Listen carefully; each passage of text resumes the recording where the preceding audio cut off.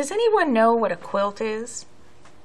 You probably remember from the Patricia Polacco story about a quilt what it is. How would someone make a patchwork quilt?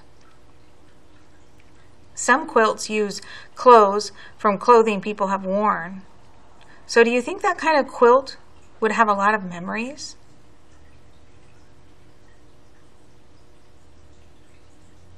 Today I'm going to read you the book The Patchwork Quilt.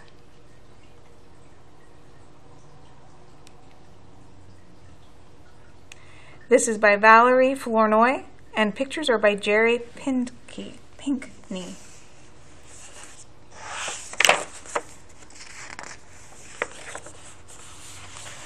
Tanya sat restlessly on her chair by the kitchen window. For several days she had had to stay in bed with a cold, but now Tanya's cold was almost gone. She was anxious to go outside and enjoy the fresh air and the arrival of spring. Mama, when can I go outside? asked Tanya. Mama pulled the tray of biscuits from the oven and placed it on the counter. In time, she murmured, all in good time. Tanya gazed through the window and saw her two brothers, Ted and Jim, and Papa building the new backyard fence. I'm going to talk to Grandma, she said. Grandma was sitting in her favorite spot, the big soft chair in front of the picture window. In her lap were scraps of material of all textures and colors. Tanya recognized some of them. The plaid was from Papa's old work shirt, and the red scrape, or the red scraps, were from the shirt Ted had torn that winter. What you gonna do with all that stuff? Tanya asked. Stuff? These ain't stuff. These little pieces gonna make me a quilt, a patchwork quilt. Tanya tilted her head. I know what a quilt is, Grandma. There's one on our on your bed, but it's old and dirty, and Mama could never get it clean. Grandma sighed. It ain't dirty, honey. It's worn, the way it's supposed to be. Grandma flexed her fingers to keep them from stiffening. She sucked in some air and said, My mother made me a quilt when I wasn't any older than you but sometimes the old ways are forgotten. Tanya leaned against the chair and rested her head on her grandmother's shoulder. Just then, Mama walked in with two glasses of milk and some biscuits. Mama looked at the scraps of material that were scattered all over. Grandma, she said, I just cleaned this room and now it's a mess. It's not a mess, Mama, Tanya said through a mouthful of biscuit. It's a quilt. A quilt? You don't need these scraps. I can get you a quilt, Mama said. Grandma looked at her daughter, then turned to her grandchild. Yes, your mama can get you a quilt from any department store, but it won't be like my patchwork quilt, and it won't last as long either. Mamma looked at Grandma, then picked up Tanya's empty glass and went to make lunch. Grandma's eyes grew dark and distant she turned away from Tanya and gazed out the window, absent-mindedly, absent-mindedly rubbing the pieces of material through her fingers. Grandma, I'll help you make your quilt, Tanya said. Thank you, honey. Let's start right now. We'll be finished in no time. Grandma held Tanya close and patted her head. It's going to take quite a while to make this quilt. Not a couple of days or a week, not even a month. A good quilt, a masterpiece. Grandma's eyes shone at the thought. Why, I need more material, more gold and blue, some red and green, and I'll need the time to do it right. It'll take me a year at least. A year, shouted Tanya. That's too long. I can't wait that long, Grandma. Grandma laughed. A year ain't that long, honey. Making this quilt's gonna be a joy. Now run along and let Grandma rest. Grandma turned her head toward the sunlight and closed her eyes. I'm going to make a masterpiece, she murmured clutching a scrap of cloth in her hand just before she fell asleep.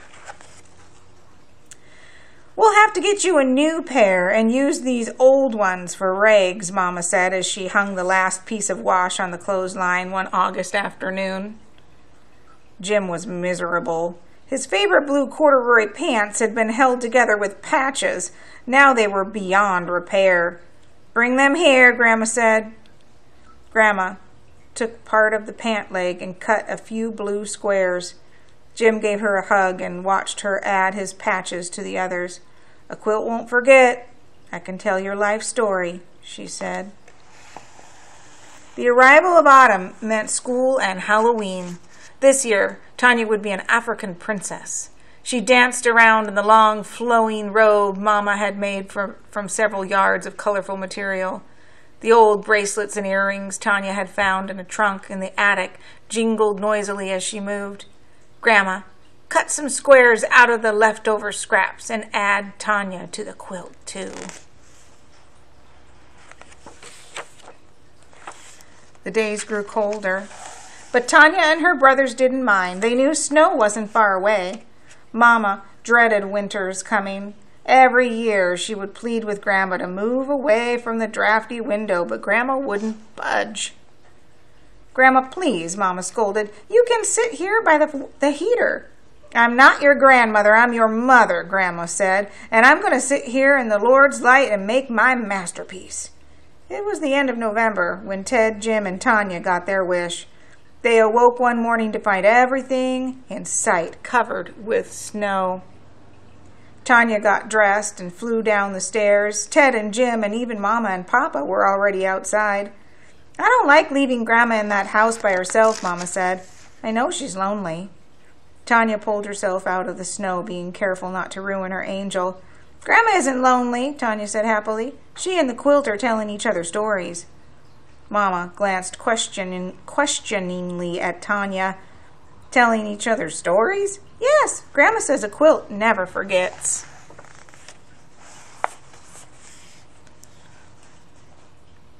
The family spent the morning and most of the afternoon sledding down the hill.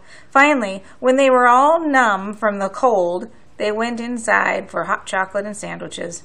I think I'll go sit and talk to Grandma, Mama said. Then she can explain to you about your our quilt. Our very own family quilt, Tanya said. Mamma saw the mischievous glint in her youngest child's eyes. Why, I may have her do that, young lady, Mamma said as she walked out of the kitchen. Tanya leaned over the table to see into the living room. Grandma was hunched over, her eyes close to the fabric as she made tiny stitches. Mamma sat at the old woman's feet. Tanya couldn't hear what was said, but she knew Grandma was telling Mama all about quilts and how this quilt would be very special. Tanya sipped her chocolate slowly. Then she saw Mama pick up a piece of fabric, rub it with her fingers, and smile. From that moment on, both women spent their winter evenings working on the quilt. Mama did the sewing while Grandma cut the fabric and placed the scraps in a pattern of colors. Even while they were cooking and baking all their Christmas specialties during the day, at night they still worked on the quilt. Only once did Mamma put it aside. She wanted to wear something special Christmas night, so she bought some gold material and made a beautiful dress. Tanya knew without asking that the gold scraps would be in the quilt, too. There was, su- there was much singing and laughing that Christmas. All Grandma's sons and daughters and nieces and nephews came to pay their respects. The Christmas tree lights shone brightly, filling the room with sparkling colors. Later, when everyone had gone home, Papa said he had never felt so much happiness in the house, and Mama agreed. When Tanya got downstairs the next morning, she found Papa.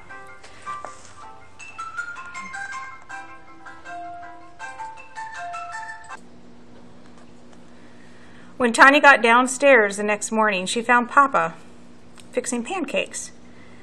Is today a special day too? asked Jim. Where's Mama? asked Tanya. Grandma doesn't feel well this morning, Papa said. Your mother is with her now, till the doctor gets here. Will Grandma be all right? Ted asked. Papa rubbed his son's head and smiled. There's nothing for you to worry about. We'll take care of Grandma. Tanya looked into the living room. There on the back of the big chair rested the patchwork quilt. It was folded neatly, just as Grandma had left it. Mother didn't want us to know she wasn't feeling well. She thought it would spoil our Christmas. Mama told them later, her face drawn and tired, her eyes a puffy red. Now it's up to all of us to be quiet and make her as comfortable as possible. Papa put an arm around Mama's shoulders. Can we see Grandma? Tanya asked. No, not tonight, Papa said. Grandma needs plenty of rest. It was nearly a week, the day before New Year's, before the children were permitted to see their grandmother. She looked tired and spoke in whispers. We miss you, Grandma, Ted said. And your muffins and hot chocolate, added Jim. Grandma smiled. Your quilt misses you too, Grandma, Tanya said. Grandma's smile faded from her lips. Her eyes grew cloudy. My masterpiece, Grandma sighed. It would have been beautiful, almost half finished. The old woman closed her eyes and turned away from the grandchildren. Papa whispered it was time to leave. Ted, Jim, and Tanya crept from the room. Tanya walked slowly to where the quilt lay. She had seen Grandma and Mama work on it. Tanya thought real hard. She knew how to cut scraps, but wasn't certain of the rest. Just then Tanya felt a hand resting on her shoulder. She looked up and saw Mama. Tomorrow, Mama said. New Year's Day was the beginning. After the dishes were washed and put away, Tanya and Mama examined the quilt. You cut more squares, Tanya, while I stitch some patches together, Mama said. Tanya snipped and trimmed the scraps of material till her hands hurt from the scissors. Mama watched her carefully, making sure the squares were all the same size. The next day was the same as the last, more snipping and cutting. But Mama couldn't always be around to watch Tanya work. Grandma had to be looked after, so Tanya worked by herself. Then one night, as Papa read them stories, Jim walked over and looked at the quilt. In it, he saw patches of blue, his blue. Without saying a word, Jim picked up the scissors and some scraps and started to make squares. Ted helped Jim put the squares in piles while Mama showed Tanya how to join them. Every day, as she got home from school, Tanya worked on the quilt. Ted and Jim were too busy with sports, and Mama was looking after Grandma, so Tanya worked alone. But after a few weeks, she stopped. Something was wrong. Something was missing, Tanya thought. For days, the quilt lay on the back of the chair. No one knew why Tanya had stopped working. Tanya would sit and look at the quilt.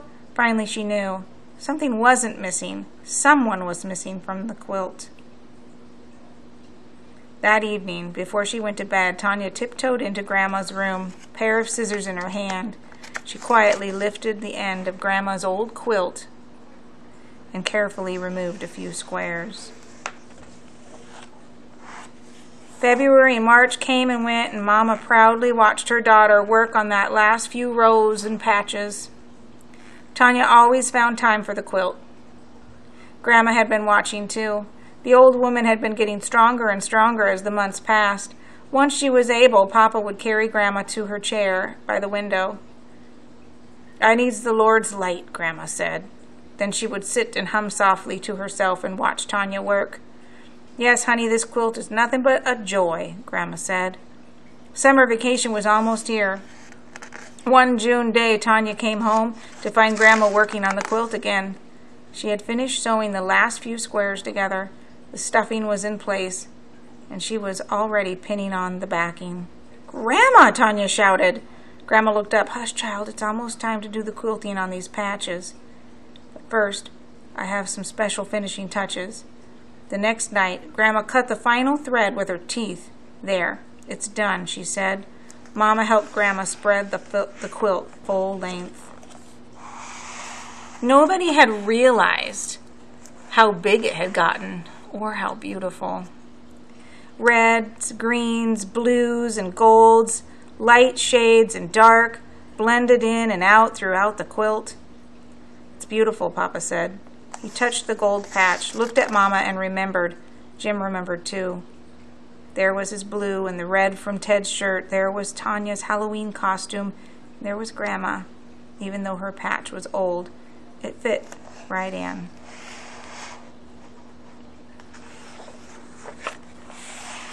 They all remembered the past year. They especially remembered Tanya and all her work. So it had been decided. In the right hand corner of the last row of patches was delicately stitched for Tanya, from Mama, and Grandma.